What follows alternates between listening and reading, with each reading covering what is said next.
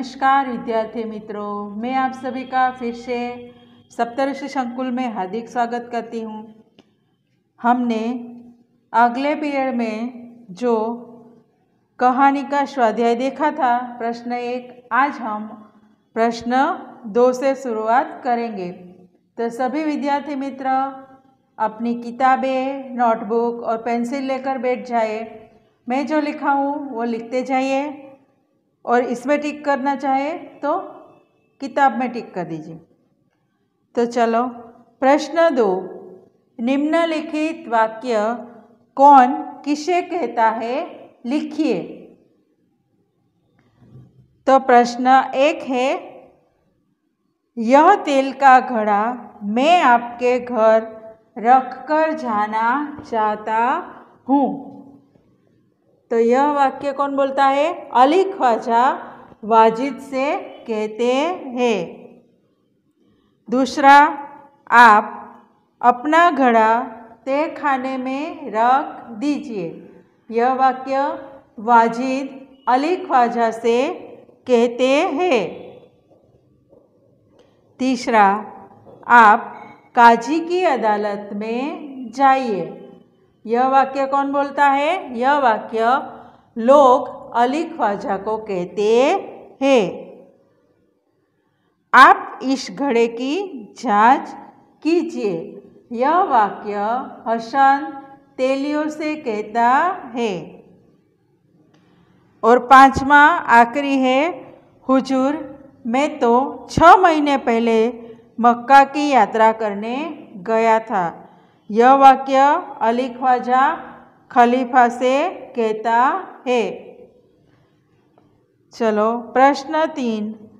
क, आपके किए हुए प्रवास का वर्णन करते हुए अपने मित्र को पत्र लिखिए। ये आपको स्वयं करना है, ये होमवर्क है। यहाँ पर आपका एड्रेस होना चाहिए, इस तरफ़। और यहाँ पर आप जो लिखेंगे अपने मित्र को कि आप कहाँ कहाँ घूमने गए, ये, और यहाँ पर आपका नाम। ये तो आप जानते ही हैं तो आपको लिखना है, और जब मैं चेक करूँगी तब आप स्कूल में लेकर आना। ख, क्या तुम्हारे साथ भी कोई ऐसी घटना घटी है कि तुम्हें न्याय के लिए किसी के पास जाना पड़े पड़ा हो उस घटना को विस्तार से लिखिए તમારી સાથે પણ આવી કોઈ ઘટના ઘટી હોય તમારે સ્કૂલમાં પણ આવું થાય છે એકબીજા સાથે લડાઈ થાય તો તમે ટીચર પાસે જાઓ ને કે મારું આણે આ લઈ લીધું ને હવે આપતો નથી તો એવી કોઈ પણ ઘટના હોય તો તે તમારા શબ્દોમાં તમારે લખવાની છે એટલે ખ પણ તમારે જાતે જ લખવાનો છે હવે આપણે જોઈશું પ્રશ્ન ગ कहानी की प्रमुख घटनाओं को इस क्रम में लिखो कि पूरी कहानी स्पष्ट हो सके जैसे हमें उदाहरण दिया गया है इराक में व्यापारी अली ख्वाजा के पास एक हजार सोने की मोहरें इकट्ठा होना तो ऐसे ही हम लिखेंगे दूसरा वाक्य 500 मोहरों को तेल से भरे घड़े में रखना। मैं यहाँ वाक्य दोहराऊँगी नहीं। आप शांति से सुनकर लिखिए। दूसरा लिखिए, उस घड़े को मित्र वाजिद के तहखाने में रख आना। और मक्का की यात्रा पर निकल जाना।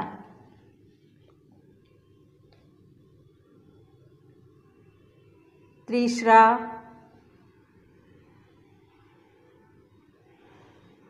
ज़रूरत पड़ने पर वाजिद द्वारा घड़े में से तेल निकालना और मोहरों का चूरा लेना।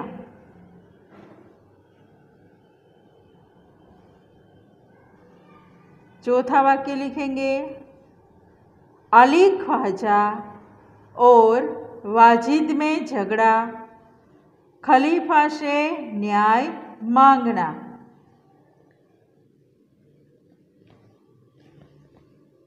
उसके बाद खलीफा का वेश बदलकर नगर में निकलना और हसन को मिलना।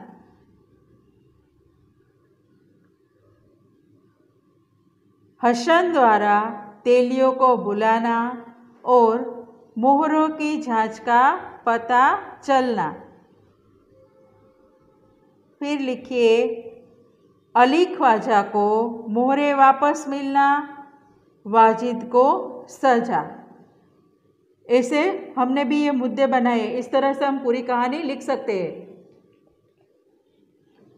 प्रश्न चार निम्नांकित कहानी के चित्र एवं वाक्य उलट पुलट दिए गए हैं। उसको पढ़कर कहानी का निर्माण कीजिए और उचित शीर्षक दीजिए। ये कहानी आपको लिखना है, क्योंकि ये खूब जानी मानी कहानी है।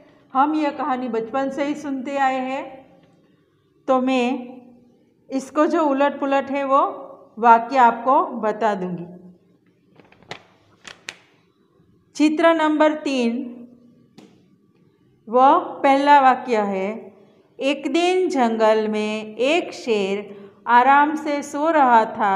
शेर जहाँ सो रहा था, उसके पास एक बिल था जिसमें एक चूहा रहता था।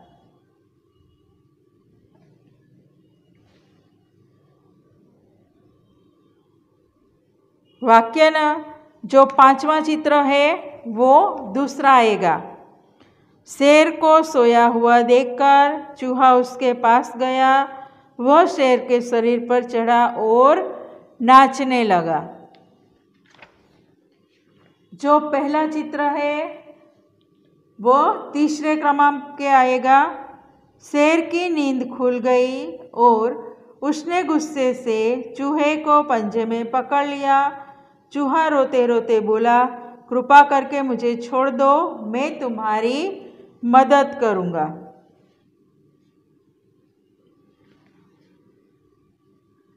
अब जो छठा चित्र है, शिकारी वाला, वह चौथा आएगा। एक दिन एक शिकारी जंगल में शिकार करने आया। उसने सिंह का शिकार करने के लिए जाल बिछाई। दूसरे नंबर का चित्र है वह पाँचवें क्रमांक में आएगा। झाल में फंसते ही शेर दहाड़ने लगा। उसकी दहाड़ सुनकर चूहा वहाँ आया और शेर को झाल में फंसा देखकर अपने साथियों को बुलाकर चूहे ने शेर को झाल से छुड़ाया। और छठा और अंतिम चित्र आएगा, चौथे नंबर का। शेर को चूहे और उसके साथियों ने जाल से छुड़ाया और शिकारी से बचाया। उस दिन से शेर और चूहा मित्र बन गए। अब इस कहानी का शीर्षक क्या देंगे? शेर और चूहा दे सकते हैं और छोट, दूसरा आता है, छोटे भी बड़ों के काम आते हैं। ये दो में से कोई भी शीर्षक आप दे सकते हैं। अब हम देखेंगे प्रश्न पाँच। निम्नलिखित वाक्यों में से क्रियावाचक शब्द ढूंढकर उदाहरण अनुसार वाक्य फिर से लिखिए। जैसा कि उदाहरण दिया गया है, राधा ने संजीव को पत्र लिखा। लिखा क्या है? क्रिया। राधा ने किसको पत्र लिखा? हमें उसे प्रश्नार्थ वाक्य बनाना है। चलो, पहला, अध्यापक ने बच्चों को कहानी सुनाई। तो हमें क्या लिखना है? बच्चों को कहानी किसने सुनाई? और अंत में प्रश्न चिन्ह कीजिएगा।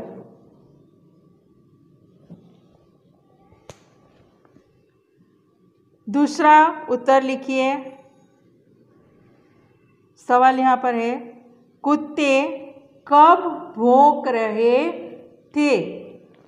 पूरा होने के बाद प्रश्नार्थ चिन्ह कीजिए। तीसरा, वह पटाखे देख रहा है, वह क्या देख रहा है? चौथा, उसका उत्तर लिखिए, कौन किताब पढ़ रहा था?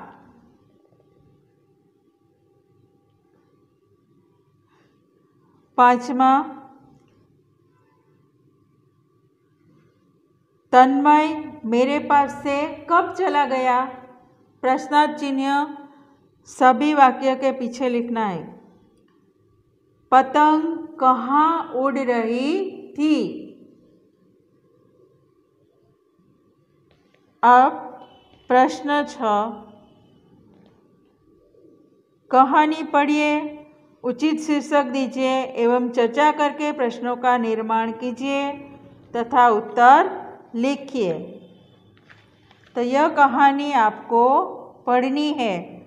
मैं आपको उसका शीर्षक बताऊँ। तो यह तेनाली रामा की कहानी है, जो आपने टीवी पर देखी होगी। तो इसका शीर्षक हम दे सकते हैं, तेनाली रामा की चतुराई। प्रश्न लिखिए। प्रश्न एक, सेवक से कौन सा अपराध हुआ? आप कहानी पढ़ते जाएँगे तो उसका उत्तर भी मिल जाएगा। सेवक से राजा का प्रिय कांच का मोर टूट गया। राजा ने सेवक को क्या सजा दी? अंत में प्रश्नार्थ चिन्ह। लिखिए उत्तर। राजा ने छः महीने के लिए सेवक को कारागार में डलवा दिया। तीसरा, बाल उद्यान में क्या हो रहा था? उत्तर लिखिए।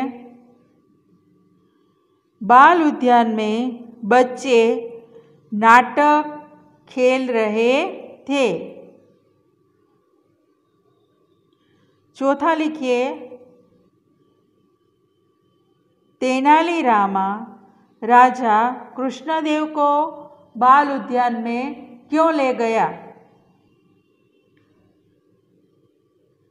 तो उत्तर लिखिए, तेनालीराम राजा कृष्णदेव को बाल उद्यान में इसीलिए ले गया कि वह उसे समझाना चाहता था कि न्याय करते समय राजा का मन बालक जैसा निर्मल होना चाहिए। पांचवा तेनालीराम बालक को कौन सी सजा दिलाना चाहते थे? उत्तर लिखिए, तेनालीराम यह सजा दिलाना चाहते थे कि उद्यान में किए गए नाटक को वह दरबार में फिर से दोहराइए। छठा। न्याय करते समय राजा का मन कैसा होना चाहिए? तो मैंने आगे लिखाया है। न्याय करने ते समय उत्तर के राजा का मन बच्चे जैसा निर्मल होना चाहिए। सातवा लिखिए। राजा को राजा ने सॉरी सेवक को क्यों रिहा कर दिया? उत्तर लिखिए क्योंकि उसने पहली बार यह मामूली अपराध किया था। तो विद्यार्थी मित्र, यहाँ पर हमारा ये गद्य कहानी पूर्ण होता है। तो हम आगे के पाठ के साथ दूसरे पीरियड में मिलेंगे, तब तक के लिए आप पढ़ते रहिए और जो मैंने लिखने को कहा है, वो लिखिएगा। अस्तु, जय हिंद, जय भारत।